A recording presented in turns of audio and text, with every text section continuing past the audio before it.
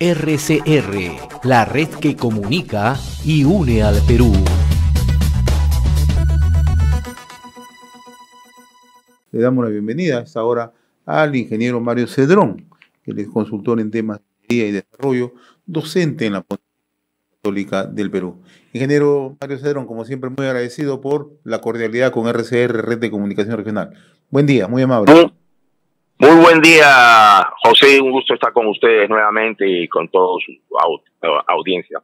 Es una persona bien informada, ¿no? Conforme se están acercando las elecciones municipales y regionales, los activistas antimineros, los que se oponen a la minería formal, ya intentan nuevamente ir paralizando proyectos en diversos puntos del país, ¿no? Hoy lo pretenden hacer en Hualgayot, que es una provincia de Cajamarca. Hace unos días se centraron en el corredor minero del sur, donde hay una tregua muy endeble, ¿no? ¿Cómo, cómo está analizando toda esta situación, ¿no? O sea, ¿qué es lo que hay detrás de todas estas movidas, de todas estas supuestas protestas, ¿no? Por temas ambientales, pero que en el fondo esconden otras cosas. Bueno, yo creo que el tema es bastante complejo y muy difícil de definir en qué va a terminar. Pero sin lugar a dudas lo que estamos presenciando es el resultado de varias décadas, dos por lo menos, en que la izquierda, y existen pues diversas tendencias en la izquierda, ha buscado hacerse del poder total. Ya sabemos que después de la era Fujimori, la llamada izquierda caviar, la izquierda stop, la, la izquierda limeña, fue copando pues diversos puestos en los ministerios, en el poder, etcétera, etcétera, y que esa es una izquierda que eh, es antiminera, es una izquierda que habla mucho del tema del post-extractivismo, es decir, de minimizar la actividad minera, eh, consumir solo lo que el país va a requerir en términos de minerales y que es la izquierda que ha representado pues la señora Mirta Vázquez, la, segunda premier de este régimen. Sin embargo, esa no es pues la única izquierda existente, está esta otra izquierda que representaba Guido Bellido, el señor Vladimir Cerrón, que esa es una izquierda marxista-leninista, ese es comunismo puro, eh, al estilo de Cuba, es no ni siquiera es socialismo del siglo XXI, y que es la que parece haberle ganado, por, al menos por el momento, eh, la pugna a la izquierda caviar que ha salido del gobierno, y ahora son ellos los que están eh, en la mayoría de los ministerios pero no están solos porque el, actual premier, el señor Aníbal Torres, es pues de la izquierda intelectual, izquierda antigua, de viejo eh, cuño, un poco difícil definirlo como un comunista a un señor que dice defender eh, el libre mercado, la economía social de mercado, etcétera, etcétera. Claro que para él, en parte, tiene razón, acá todavía hemos seguido viviendo con el mercantilismo a pesar de que la Constitución establece esta economía de libre mercado. Y todo esto, pues, en lo que se unen es en, en, en tratar de cambiar la Constitución para llevarnos, pues, a, a un régimen eh, estatista, ¿no? Y el presidente de la República, que dice no ser comunista, representa, pues, lo que se llama, ¿no? Esta eh, izquierda ignorante, y placera, ¿no? Que por su origen, origen humilde creen que hay que ser de izquierda y entonces es una izquierda sindicalista de la que le gusta salir a la calle, etcétera, etcétera.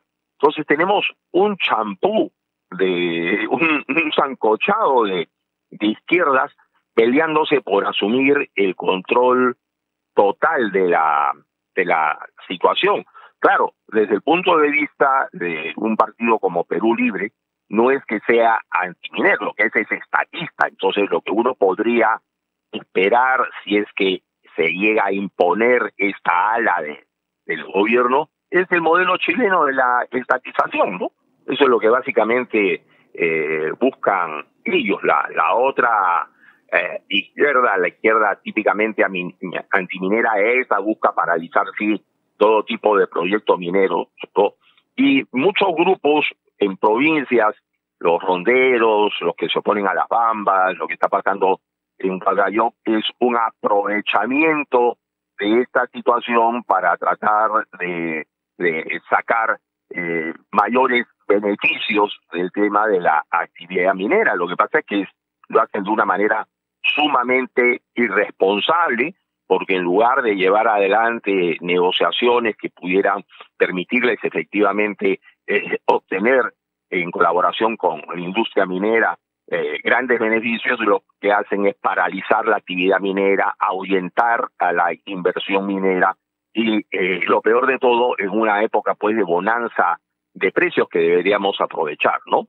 Allí quería yo llegar, ¿no? Justamente en una situación bastante expectante por el precio internacional de los metales, básicamente del cobre. En el Perú tenemos el riesgo que muchos proyectos ¿no? se pueden paralizar, ¿no? Aquellos que están en exploración se pueden paralizar porque se ha generado toda una desinformación sobre este tema, ¿no? Usted que es un estudioso en la materia sabe que cuando hay una exploración no hay prejuicio ambiental, ¿no? Pero sin embargo, en los últimos años ha corrido mucho esa versión, ¿no? Que son los que contaminan, son los responsables justamente del tema medioambiental. Y a ello hay que sumar otro factor que seguramente no eh, nos estamos tomando, percatando, ¿no? Es que ahora ya en el gobierno hay muchos funcionarios, ¿no? Que han ingresado, ¿no? Al gobierno, que tienen una posición ya muy similar justamente a estos grupos que se ponen en la minería. Entonces, desde ahí ya empiezan a tener un control, ¿no? En ese horizonte, ¿cómo ve usted el futuro de la minería en el Perú?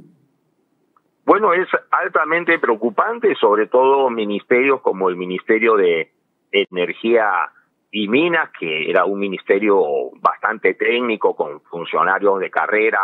Muchos de esos funcionarios empezaron a salir con el primer gabinete del señor eh, Bellido y ha sido copado, en este caso no por Callares, sino en este caso por, por gente marxista-leninista de, que procede del partido de, de Perú Libre. En ese sentido, lo que podemos eh, esperar pues es que eh, los proyectos mineros se queden en compás de espera este a ver qué es lo que cómo se va a desenvolver toda esta pugna esta situación hay un enfrentamiento con el Congreso hay una alta posibilidad de, de vacancia como también hay una alta posibilidad de disolución del Congreso. Eh, se habla de una tregua eh, el señor Torres con la señora Alba, que tal vez podría darse, no lo sabemos, podría haber un giro en el caso del señor Castillo, como lo tuvo Mala,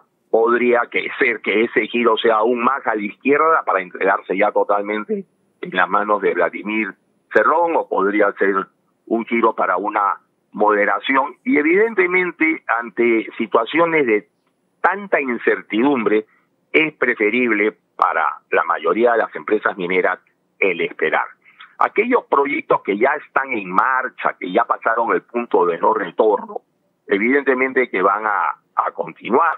Resulta mucho más caro cancelarlos o, o paralizarlos que seguir adelante. Pero que hayan lo que se llaman nuevas exploraciones, nuevas inversiones que no sean las que ya tenemos más o menos caminando, eso va a ser muy difícil que se dé. Y todo esto lo único que hace es incentivar principalmente a países como la China a mirar hacia otros lados, sobre todo al África, en donde hay yacimientos de cobre, porque estamos hablando fundamentalmente de minería de cobre, ¿no? que son mucho más ricos que los peruanos, pero en donde no hay tantas facilidades en términos de recursos humanos, infraestructura, etcétera. Pero eso no es tan difícil de crearlo en muy corto tiempo, como lo hicieron, por ejemplo, los argentinos, ¿no? Que han venido a desarrollar ya una minería, sobre todo en la Patagonia, en donde antes no existían, pues, proveedores, no existía mano de obra, entonces invitaron inclusive a instituciones peruanas a ir a capacitar al personal, etcétera, etcétera. Pero la incertidumbre política no es algo que se corrija de la noche a la mañana.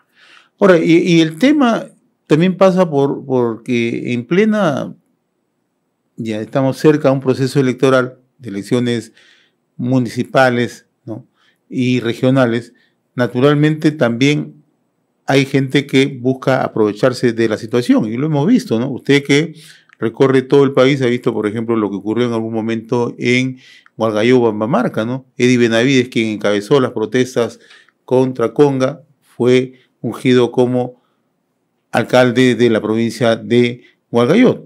O el caso de Marco, o el caso de Marco Arana, o el Mercácer, ¿no? Sí para no irnos tan lejos, usted tiene acá eh, cerca nomás el caso de la mina Austraduba. Austraduba ha tenido que parar, no solo parar, sino prácticamente cerrar la mina porque no puede ponerse de acuerdo con el sindicato, porque el sindicato está siendo utilizado políticamente por una persona que aspira a ser alcalde de, del distrito. ¿no? Entonces, evidentemente, eh, en épocas de elecciones, ¿no? A río revuelto, ganancia de pescadores. Entonces, se utiliza como plataforma política. El mismo Marco Arana ha utilizado la antiminería para, para poder llegar al Congreso, inclusive para ser este el candidato presidencial, la señora Verónica Mendoza, el propio Vizcarra, ¿no? En, el tema con, con Sauer y con Guajones. Así que la minería es un trampolín, es una plataforma de lanzamiento para hacerse conocido, ¿no? Por parte de todos estos eh, señores pues que tienen intereses particulares muy alejados de lo que es el interés general del país.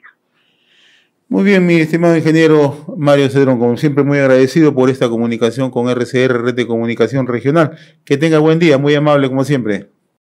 RCR, la red que comunica y une al Perú.